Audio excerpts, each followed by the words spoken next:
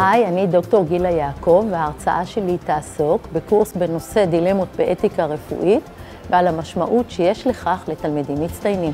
יאללה, מתחילים.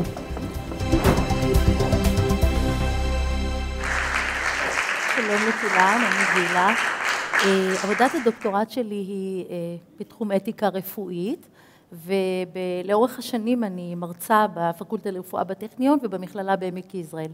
אני אומרת את ההקדמה הזאת כי השאלה של מהו המעשה הנכון לעשותו היא שאלה שמעסיקה אותי שנים רבות. גם בעבודתי כמורה וגם בעבודתי כמרצה. כיצד נקבל החלטות על המעשה המוסרי הנכון ומהו המעשה הנכון במקום שבו יש גם ערכים וגם עובדות ושיקולים בעד ושיקולים נגד שלעיתים מתנגשים, שיקולים שיכולים להיות תוצר של תהליכים מדעיים לעומת שיקולים של הכרעות ערכיות שאז זה עניין של רצייה, הסוגיות האלה הן סוגיות מורכבות. עולם האתיקה הרפואית מזמן באמירים ובעבודה שאני עושה בקורס שפיתחתי בחטיבת הביניים הזדמנות למעבדה, מעבדה מוסרית, מעבדה לפתח את החשיבה הערכית של הילדים. במעבדה הזאת אנחנו מתנסים באמצעות כלים מגוונים כפי שאמרה תלמידה, בתוכנית אמירים אנחנו מקיימים דיונים על ערכים. ערכים שחשובים לנו, ערכים שחשובים לחברים בקבוצה, אנחנו לא מגיעים למסקנה חד משמעית ותמיד יש ויכוח ולכל אחד דעות משלו. כאשר אנחנו אה, בדרך כלל במערכת החינוך מלמדים את הילדים, בדרך כלל אנחנו מלמדים אותם עובדות שונות במקצועות לימוד שונים. והסוגיה הערכית היא סוגיה פחות מדוברת ופחות נלמדת. ולתוכנית יש אה, מטרות בשני צירים. אז אה, כפי שאמרתי, הקורס כולל סוגיות מוסריות, דילמות שמלוות אה, רופאים וחוקרים. עולם האתיקה הרפואית ועולם הרפואה בכלל מאופיין בטכנולוגיה מואצת, אז בתוכנית שלנו באתיקה הרפואית יש לנו את ציר התוכן. בציר התוכן התלמידים נחשפים לתיאוריות שונות בחשיבה מוסרית, לטקסטים מכוננים, כמו שבועת היפוקרטס וכמו הכרזת לכל באי עולם בדבר זכויות האדם, תיאוריות מוסר שונות, תיאוריות דאונטולוגיות שהן חובה שמניעה את האדם, תיאוריות תועלתניות שמחפשות את התועלת למרב האנשים, תיאוריות מגוונות.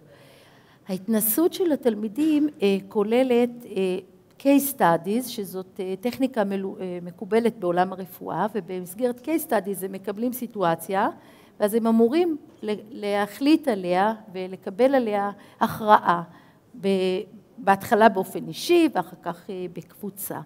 ויש מרכיב של השראה וזה הביקורים בפקולטה לרפואה בטכניון בחיפה וגם בבית החולים רמב"ם ושם הילדים אה, נחשפים לסוגיות שונות שמעסיקים את החוקרים.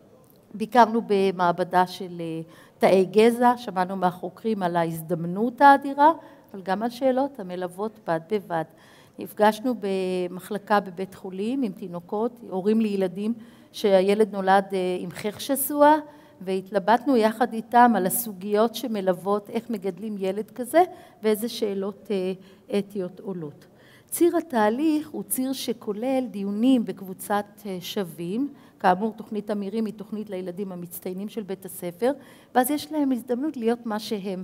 הם לא צריכים עכשיו להצטנע ולהגיד, טוב, בכיתה יגידו שאני חנון. יש להם הזדמנות להיות מה שהם. וניתנת להם ההזדמנות להכיר זה את זה בצורה מעמיקה, לכבד דעות שונות או לא דעות שונות, זה תחום שמציף דעות שונות, מפתח את יכולת ההקשבה שלהם, את יכולת גיבוש הטיעון, וגם עבודת צוות, כי גם עולם הרפואה היום, ובכובע אחר אני עוסקת בחינוך רפואי, גם על החינוך הרפואי שאנחנו נותנים לסטודנטים הוא שלהיות הרופא הכי מעולה היום ולבד זה לא שווה הרבה. המערכות הולכות ונעשות מורכבות ועבודת צוות היא קריטית להצלחה. אז כאן יש לנו את התמונה שמראה את הביקור שלנו בבית החולים רמב"ם. כפי שציינתי התוכנית אה, כוללת אה, מגוון אמצעי הוראה. אה, כמו שאמרתי לגבי ההתנסות עם ה-case studies, אבל גם סרטונים שמהווים כטריגר לדיון אה, וגם אה, מתן תיאורי מקרה, דיוני דילמה לפי מודלים לקבלת החלטות, היכרות עם תיאוריות מוסריות שונות ובחינה של התוצאות שלהם, כאמור מעבדה, מעבדה שאמורה לפתח את החשיבה המוסרית של הילדים. בנוסף, וכאן זה חשוב לי אה, כאזרחית להגיד, שבנוסף יש מרכיב של עשייה פעילה. כל הפילוסופיה הזו במעבדה, תכליתה היא לכוון את התלמידים המצטיינים שיהיו תלמידים ערכיים, אבל גם פועלים בעולם האמיתי.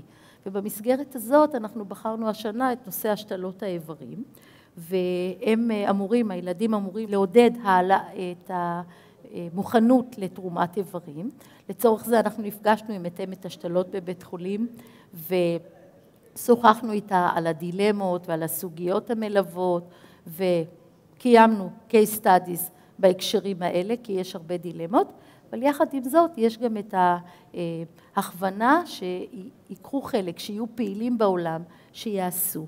החשיפה של הילדים לעולם האתיקה הרפואית מזמנת פיתוח של רגישות מוסרית, מזמנת את ההסתכלות שלהם על העולם, את הבחינה ואת ההחלטה וההכרעה איך לקדם את העולם לעולם טוב יותר. החשיבות במסגרת פעילות אמירים היא שהילדים המצטיינים בעיניי הם חוד החנית, הם אלה שמקדמים את החברה קדימה, הם אלה שיש לנו את ההזדמנות שיהפכו את החברה הישראלית לחברת מופת.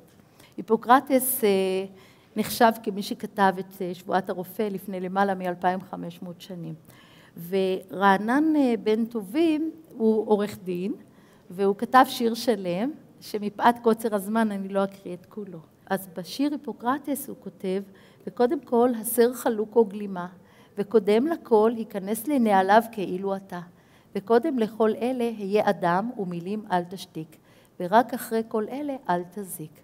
אל תזיק במובן של אחד העקרונות של האתיקה הרפואית הם פרימיום נון נוצרה, שזה משפט בלטינית שאומר ראשית לכל אל תזיק. אז רענן בן טובים כותב זה בסדר לא להזיק אבל הרבה לפני זה צריך להיות מוסרי וצריך עוד ועוד והוא מונה את זה ככה אה, בכל הבתים. אז אנחנו רוצים להעביר לתלמידים את המסר, להיות רגישים, להיות קשובים, להיות אוהבי אדם, להסתכל על העולם גם בעדשה הערכית ורק אחר כך לא להזיק. תודה רבה.